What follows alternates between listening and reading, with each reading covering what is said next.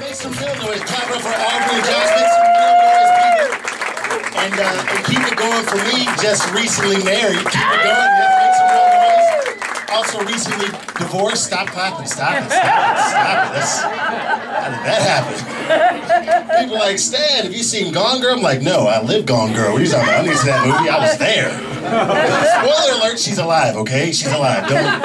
You ever make a bad life choice and it was bad right away? Yes. Like, you ever heard of Enron? Yeah, that was her. Now, behind the whole thing, I could not believe the whole thing. Couldn't believe it. Uh, Watergate, you all know about, you ever heard about Watergate? You know when the light was on in the office? The bitch left the light on. That was her. She was responsible for all that. To be honest, uh, I hate the New England Patriots. That has nothing to do with nothing. I hate the New England Patriots.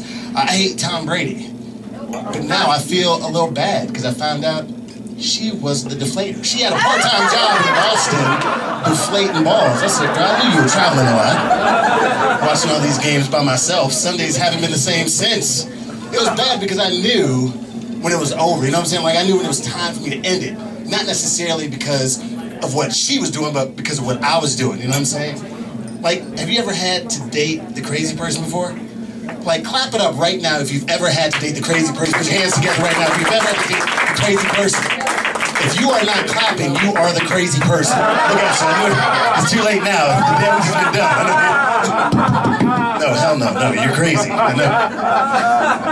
You start being okay with what other other crazy people do. You know, and you're like, eh, it's, it's all right. I can see where they're coming from.